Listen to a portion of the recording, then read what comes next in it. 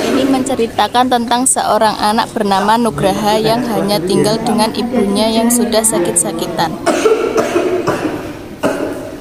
Suatu hari, ketika pulang sekolah, Nugraha bertemu dengan pamannya, Pak Hudi, di rumah.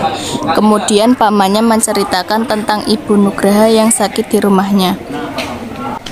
Kamu kenapa pulang sekolah kok mah sedih? Coba cerita itu paman eh, ibu aku sakit sekarang di rumah sakit Jadi gini, ibumu itu sudah mengidap kanker beberapa bulan yang lalu.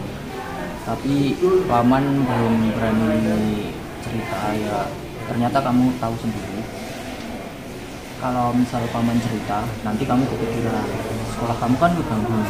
iya Nah, nanti takutnya kamu malah coba mencari uang itu bisa mengganggu sekolahmu nanti. Jadi gimana kalau nanti paman bantu dengan biaya pengobatan ibumu sebisa paman saja terserahnya ke kamu gitu. iya paman terima kasih ya paman sudah mau membantu aku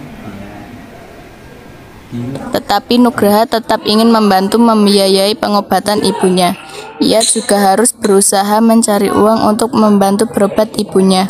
Kemudian di pikirannya terlintas bahwa ia harus bekerja sampingan. Alhasil setiap setelah pulang sekolah, ia bekerja sampingan sebagai tukang parkir.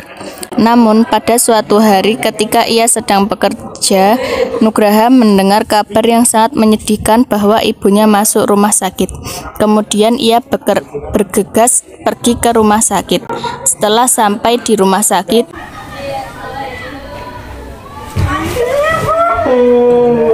betapa sedihnya bahwa ibunya sudah meninggal.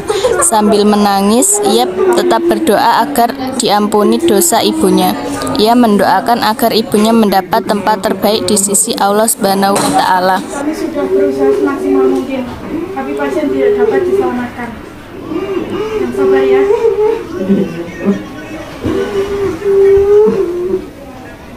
Setelah ibunya meninggal, ia tidak lupa mendoakan ibunya sehabis sholat.